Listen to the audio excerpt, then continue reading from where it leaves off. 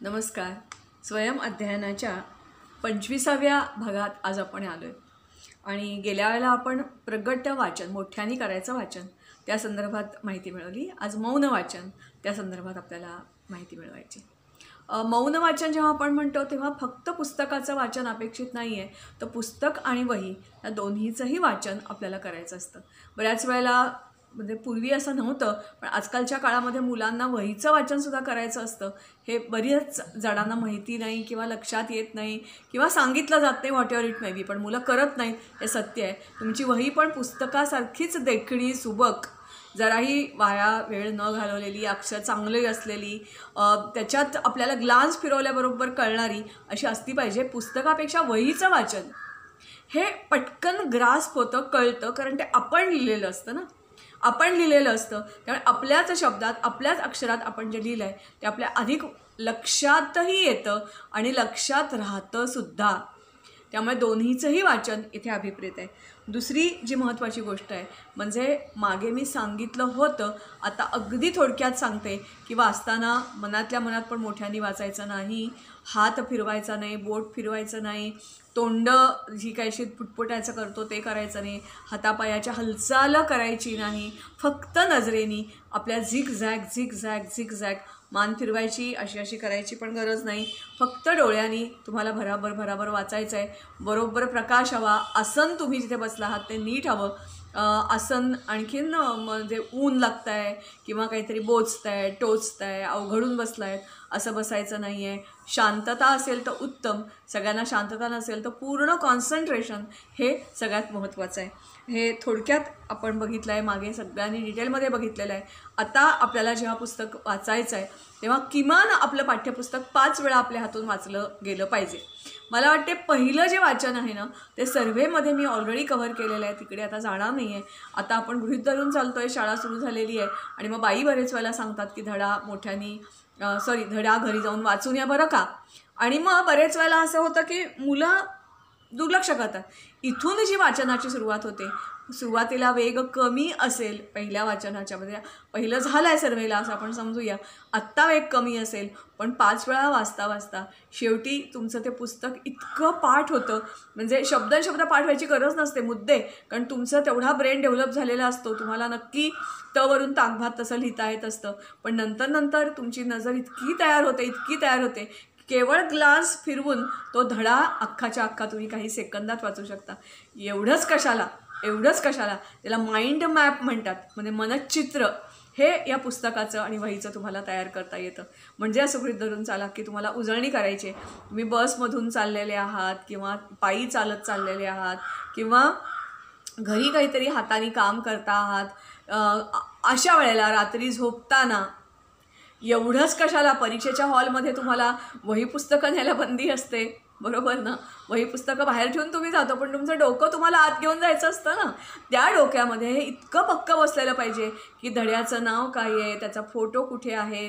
तुम्ही अंडरलाईन म्हणजे आता पुढे डिटेलमध्ये मी सांगते पुस्तक कसं सजवायचं आहे जणू या पुस्तकाचा फोटो तुम्हाला तयार करायचा आहे त्याच्यात रंग भरायचे आहेत वेगवेगळे. आणि अतिशय साजरं गोजरं आणि नजर फिरवली रे फिरवली की सगळं तुम्हाला आकलन होईल. अशी पानाच्या पानं तुमच्या डोळ्यासमोर यायला लागतात. आणि काही मिनिटामध्ये अख्खं पुस्तकसुद्धा तुम्हाला वाचता यायला लागतं. ही प्रगती तुम्हाला करायची असेल तर प्रत्येक स्टेप नीट लक्षात घ्या. जसं तुम्हाला वाचन करायचं आहे अर्थात जेव्हा आपण वाचन म्हणतो तेव्हा वाचन आणि लिखाण परस्पराला पूरक आहेत. आपण जेव्हा लेखनाकडे जाऊ तेव्हा तुम्हाला जाणवेल की लेखन सगळ्यात टफेस्ट म्हणजे जी काही आपल्याला श्रवणं ऐकणं कानाने डोळ्यांनी बघणं वाचणं ह्या सगळ्यामध्ये लिखाणं हा जो काही भाग आहे कौशल्य जी लागतात सगळ्यात कठीण भाग आहे. त्याच्यात अनेक अनेक भाग त्याच्यामध्ये येतात. म्हणजे हस्ताक्षर शुद्धलेखना एक भाग झाला वेगळे पॅटर्न्स येतात. तिकडे आपण जायच्या पूर्वी तुम्हाला वाचन पक्क पाहिजे. आणि आत्ता मी म्हटलं तसं आपण इकडे परत वळूया. की पहिल्यांदा सर्वेचं वाचून झालं आहे बाईने तुम्हाला गृहपाठ दिला आहे काही मुलांना नक्की माहिती असतं. बाईंना कसं कळणार आहे मी वाचला आहे की नाही धडा? नाही कळणार आहे ना. ह्याचा ते फायदा घेतात. काही वेळेला वाचायचा कंटाळा असतो वाचायला वेळ लागत असतो काही वेळेला बाई आवडत नसतात काही वेळेला आई आणि बाबा सांगतायत तर मग नाहीच करणार मी. असा एक हट्टी किंवा जिद्दी स्वभाव असतो. काही वेळेला अभ्यासाचाच कंटाळा आलेला असतो टी व्ही बघायचा असतो. आणि मग जे क कंपल्सरी आहे ते क- लिह लिखाण आहे ते करायलाच पाहिजे. प्रोजेक्ट पूर्ण करायला पाहिजे तो करायलाच पाहिजे. मग जिथे कुठे तुम्हाला सवलत मिळेल शॉर्टकट तुम्ही शोधता आणि बाईंनी विचारलं धडा वाचून झाला का हो म्हणून सांगता. ही गंभीर चूक तुम्ही करता आहात. त्याच्यामुळे तुमचं स्वतःचं प्रचंड नुकसान करून घेत आहेत. कारण हे जे पहिल्या टप्प्यावरचं वाचन आहे ते खूप खूप खूप खूप महत्त्वाचं आहे. तुम्हाला जेव्हा बाई धडा वाचायला सांगतात मी त्या शिक्षकांना असं सांगेन त्याच्याऐवजी तुम्ही वर्कशीट बनवून ठेवा आणि मुलांना वर्कशीट द्या आणि त्याच्यामध्ये काय सांगा?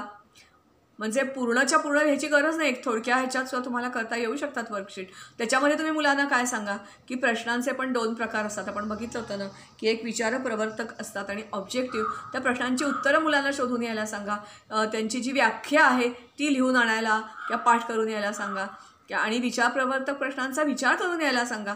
म्हणजे ही प्रश्नांची उत्तरं. तुम्ही ऑलरेडीच तुम्ही शोधलेली आहेत लिहिलेली आहेत असं झालं पाहिजे. दुसरी गोष्ट तुम्हाला बाई जेव्हा धडा वाचायला सांगतात तेव्हा तुम्ही पहिल्यांदा प्रश्न वाचून घ्यायचे. आहेत धडा वाचायचा नाही तर प्रश्न वाचून घ्यायचे. आहेत आणि प्रश्नांची उत्तरं तुम्हाला शोधायची. आहेत प्रश्नांची उत्तरं शोधताना हा जो काही विषयात म्हणजे इतिहास भूगोल विज्ञान काही विषयात तुम्हाला असं जर जमलं तर फार चांगलं की पुस्तकाच्या मध्ये मध्ये एक एक कोरं पान घाला. कोरं पान घाला आणि पुस्तक परत एकदा बाइंड करून घ्या. म्हणजे तुमच्या पुस्तकाच्या साईज जवळजवळ डबल होईल कारण ह्या पानावर तुम्हाला बरंच बरंच काही काही करता येऊ शकतं. वहीच्या तोडीचं काम हे पान तुमचं करू शकतं. या पहिल्यांदा जेव्हा तुम्ही वाचता प्रश्नांची उत्तरं तुम्हाला कुठे मिळाली? त्या समासामध्ये तुम्ही लिहून ठेवा. प्रश्न एक अ प्रश्न बी दोन अ आणि अंडरलाईन करा. गाळलेल्या जागा भरा एका शब्दात एका वाक्यात उत्तर द्या. सहज तुम्हाला हे करता येईल.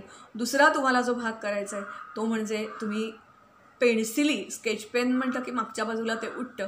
तेव्हा पेन्सिली कलर्ड पेन्सिल ज्या मिळतात त्याच्यामध्ये तुम्ही एक लक्षात ठेवा. कोड तुमचे तुम्ही बनवा की ला लाल रंग ह्याला वापरीन ग्रीन रंग ह्याला वापरीन. व व्याख्या आहेत. त्या व्याख्यांच्या खालती कंस करा. पेन्सिलचा शक्यतो वापर करा एरवीसुद्धा आणि मग गाळलेले जागा भरा किंवा ज्या काही तुम्हाला शब्द वाटत आहेत त्याच्या खालती अमुक रंग वापरा तमुक रंग वापरा असं तुम्ही ठरवून घ्या. काही वेळेला कोडवर्ड तुमचे तुम्ही तयार करा. उदाहरणार्थ पाण्याचे गुणधर्म दिलेले आहे ते प्रवाही आहे रंगहीन आहे त्याला गंध नाही. मग ते एक कोडवर्ड तयार करा. हा कसं प्रत्येक शब्द पहिला पहिला जसं ताना पिही जा आणि मग ते त्या ठिकाणी लिहून ठेवा. शक्यतो जर तुम्ही उजव्या कोपऱ्यात कारण आपण पान जेव्हा उलटतो तेव्हा एक तर वर पकडतो किंवा खालती पकडतो ना. खालती असं पान उलटतो. त्या खालच्या तरी टोकाला किंवा वरच्या टोकाला ते लिहून ठेवा. म्हणजे नुसता तो शब्द बघितला तरी पाण्याचे गुणधर्म लक्षात हवेचे गुणधर्म लक्षात आले किंवा रोगांची निदानं लक्षात आली. एक एक कोडवड तुमच्या लक्षात आला की लक्षात आलं. सगळ्यात आणखीन एक महत्त्वाचा भाग आहे म्हणजे तुम्हाला जो प्रश्न आला नाही आहे कठीण वाटतो आहे ज्याचं उत्तर आलेलं नाही आहे असं वाटतं आहे त्या प्रश्नाच्या खालती उत्तर लिहून ठेवा. कठीण वाटतं आहे आपल्याला. आणि शाळेत शिक्षक जेव्हा धडा शिकवणार आहेत तेव्हा याच्याकडे तुम्हाला जास्ती लक्ष द्यायचं आहे हे तुम्ही लक्षात ठेवायचं आहे काही ठिकाणी तुम्ही कंस करा काही ठिकाणी तुम्ही कंस करताना पण साधे असे गोल कंस करा चौकोनी करा मेहरोपी कंस करा. वेगवेगळ्या तुमचं तुम्ही ठरवा की कशा प्रकारे करणार. सगळ्यात महत्त्वाचा भाग म्हणजे इंग्रजीच्या बाबतीमध्ये उच्चार. उदाहरणार्थ के एन ओ डब्ल्यू किंवा नॉलेज आपण केचा उच्चार करत नाही. तुम्हाला हा भाग आत्ता सांगण्यासारखा नाहीच आहे बाई. शिक्षक ऑलरेडी सांगतात. असे ते शब्द असतात की जिथे उच्चार वेगळे होत आहे किंवा स्पेलिंग वेगळं आहे म्हणजे तेच स्पेलिंगमध्ये ए ओ याच्यामध्ये पण स्पेलिंग तुम्हाला नाही जमणार आहे त्याचा उच्चार तुम्ही समासामध्ये लिहून ठेवा. कारण चुकीचा उच्चार केला तर कसं होईल? किंवा जे आणि ज म्हणजे ज कधी वाचायचं आहे ग कधी वाचायचं आहे ते तुम्हाला माहिती पाहिजे. आणि तसं तुम्ही ते समासात लिहून ठेवा. जे शब्द संस्कृत तुम्हाला वाचताना अडचण आलेली आहे ते त्याच्यावर तुम्ही अंडरलाईन करा. बाई जेव्हा शाळेत सांगतील त्यावेळेला तुम्हाला तिकडे लक्ष द्या आणि तो समजून घ्यायचा प्रयत्न करा. आणखीन एक करा जसा धडा वाचायचा आहे तसंच हा सगळा जो भाग आहे तो तुम्ही वहीचा वापर करा. जे कठीण शब्द आहेत की त्याचा अर्थ धड्याखाली ऑलरेडी दिलेला आहे. मग तो बाईनी सांगायची कशाला वाट बघायची? तुम्ही लगेचच वर धड्याचं नाव लिहा तारीख टाका. आणि त्याच्या खालती तुमची वही तेवढीच देखणी म्हणतात असं. हे जे कठीण शब्द गेलेले आहेत ते तुम्ही लिहा. जे तुम्हाला अडचण आहे ती तुम्ही लिहून ठेवा. आणि मग ह्या वहीमध्ये तुम्हाला हे सगळं लिहायचं आहे आणखीन एक लक्षात घ्या की काही काही वेळेला काही काही शब्द असे असतात की उदाहरणार्थ नियमाप्रमाणे ते मराठीत सुद्धा लिहिले जात नाहीत. किंवा मराठीमध्ये जोडाक्षरं लिहिण्यामध्ये तुमची बरेच वेळेला गफलत होते. पुस्तकात असे जर कठीण शब्द कोणते गेलेले आहेत? जोडाक्षरं किंवा उदाहरणार्थ भीती. आता आपण भीती एरवी नियमाप्रमाणे भी पहिली पाहिजे ती दुसरी पाहिजे. पण तसं नाही आहे ना परंतु आणि असे जे शब्द वेगळे आहेत किंवा काही कठीण शब्द आहेत की जे वेगळ्या प्रकारे लिहिले वाचले जातात ते सगळे शब्द तुम्ही वहीत उतरवून ठेवा वहीत व्याख्या उतरवून ठेवा. म्हणजेच स्वतःच्या ह्याच्यामध्ये पहिल्यांदाच वर्गात जेव्हा तुम्ही जाल तेव्हा पन्नास टक्क्यापेक्षा जास्ती भाग तुम्हाला ऑलरेडी कळलेला असेल. जो भाग कळलेला नाही असं तुम्हाला वाटतं आहे तो कळलेला नाही आहे भाग बाई सांगत असताना तुम्हाला समजता येतो आहे का बघा? जर त्याच्या अगोदरच जर तुम्हाला वेळ असेल आणि जो समजलेला भाग नाही आहे त्याचं तुम्ही मनन आणि चिंतन करा ना. मनातल्या मनात विचार तर करा तुम्ही. तुम्ही विचारच करत नाही. बरेच वेळेला तुमचं लक्ष सगळं टी व्हीमध्ये किंवा खेळामध्ये असतं किंवा स्वतःचा स्वतः विचार करायचा आहे ह्याचा कधी विचार सांगितलंच गेलेलं नसतं कित्येकदा. कित्येक वेळेला स्वतःची कोडी स्वतः तुम्हाला कळतात. मला वाटते आपण जेव्हा ओंकार ध्यान वगैरे हा भाग बघितला होता ऋषीमुनींचा भाग जेव्हा आपल्याला येतो तेव्हा ते असं आंतरिक अंतज्ञान तुम्हाला प्राप्त आपोआप मनन आणि चिंतन तुमच्या लेवलचं तुम्हाला प्राप्त होईल. तर शक्य असेल तर तुमच्या मित्रांशी बोला तुमच्या आईवडिलांशी बोला. मग तुम्हाला तुमच्या मनातल्या शंका आपोआप दूर होतील. आणि बाई सांगताना अगदी सोपा धडा आहे किती कठीण असला तरी असं तुम्हाला वाटेल. ह्या जी वहीच्या मध्ये जी पुस्तकाच्या मध्ये जी पानं घातलेली आहेत किंवा वही आहे त्या ठिकाणी बाईने जर एक्स्ट्रा काही माहिती दिलेली असेल तर लगेचच्या लगेच तिथे नोंद करून ठेवा.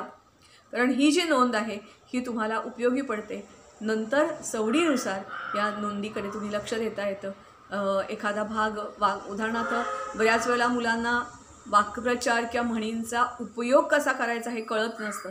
अशा वेळेला वाक्प्रचाराचा बाईंनी कसा उपयोग केला आहे म्हणजे ते मुलं काहीही वाक्प्रचाराचा उपयोग करतात. किंवा शब्द शब्दांचा वापर कसा केला आहे बाईंनी? कारण मराठीतला प्रत्येक शब्द प्रत्येक शब्द त्याला जो नाद आहे अर्थ आहे तो वेगळा आहे ना? वेगळा आहे तो. कसं तरी कुठेतरी किंवा एका शब्दाचे अनेक अर्थ एका शब्दाचे अनेक अर्थ होतात. आपल्याला एवढ्या डिटेलमध्ये आत्ता जायला वेळ नाही आहे परंतु अनेक अर्थ होत असतात. तर कोणत्या अर्थी हा शब्द आलेला आहे हे तुम्हाला धडा वाचताना हे कळलं पाहिजे. उदाहरणार्थ हार अगदी सिंपल आपण उदाहरण घेऊया. हार मग तो गळ्यात घालायचा हार आहे की लढाईत झालेली हार आहे माघार आहे किंवा कोणीतरी काहीतरी तुम्हाला खेळाच्या याच्यामध्ये स्पर्धेमध्ये तुम्हाला मागे टाकलेलं आहे. मी हार मानणार नाही मानणार असे असंख्य जे सगळे कंगोरे आहेत. त्याचा तुम्हाला या ठिकाणी शब्दांचा विचार करायचा आहे. अशी तुमची हे पुस्तक जे आहे हे सगळं मार्किंगनी सजलेलं आहे असं हे पहिल्या ह्याच्यात तयार झालं पाहिजे. मला वाटते एवढं जर तुम्ही केलं ना तर अशा प्रकारे धडा आधी नीट वाचून गेलात आणि वहीची मदत घेऊन त्या वहीमध्ये पण हे सगळं तुम्ही उतरवलेलं असेल तर तुम्हाला पुढचं वाचन करताना खूप सोपं होईल. धडा शिकून झाला की परत एकदा डोळे फिरवलेत की तुम्हाला कळेल की आपल्याला आता धडा शंभर टक्के कळलेला आहे. आणि मग हा जो काही धडा कळलेला आहे तो दर आठवड्यानी आता वही तयार झालेला आहे ना तुमचं? फोटो तयार झालेला आहे. जसं फोटोकडे बघितलं की आपल्याला सांगावं लागतं का की हा डोंगरात काढलेला आहे? डोंगरावर झाडी आहे की नाही? पाऊलवाट आहेत की नाही? वस्ती आहे का? किंवा ते जंगल जे आहे ते घनदाट आहे का? किंवा तुमच्याबरोबर कोणी आहे का? हे वेगळं सांगावं लागतं का? नाही. नुसता फोटो पाहिला की तुम्हाला त्याची सगळी पार्श्वभूमी एवढंच नव्हे तर तो फोटोच्या मागे काही गड गमती जमती झालेले आहेत का? किंवा काही संभाषण झालेलं आहे का? हा फोटो तुम्ही का काढलेला आहात? तिचं वैशिष्ट्य काय आहे? हे सगळं फ्लॅशबॅकप्रमाणे कळतं. तसं ह्या अशा प्रकारेचं पुस्तक नीट सजलेलं असेल रंग वेगवेगळे वापरा. मी एवढ्यासाठी सांगते की रंगांचा म्हणजे व्हाईट आणि ब्लॅकपेक्षा रंगीत फोटो जसा बोलका असतो तसं हे तुमचं पुस्तक बोलकं करत करत तुम्हाला वाचायचं आहे मी तुम्हाला म्हटल्याप्रमाणे या वाचनाला या टप्प्याच्या वाचनाचा वेग कमी असणार आहे. पण वेग हा मुळी तुमचा इश्यूच नाही आहे आत्ता. तुम्हाला कळणं हे आहे. दुसरी गोष्ट काही काही पुस्तकामध्ये मोठे मोठे परिच्छेद असतात. प्रत्येक मोठा परिच्छेद झाला की एक सेकंदभर थांबा आणि आठवायचा प्रयत्न करा की या परिच्छेदामध्ये नेमकं काय सांगितलेलं आहे. आणि जे तुम्हाला सांगितलं आहे ते कळलं आहे का?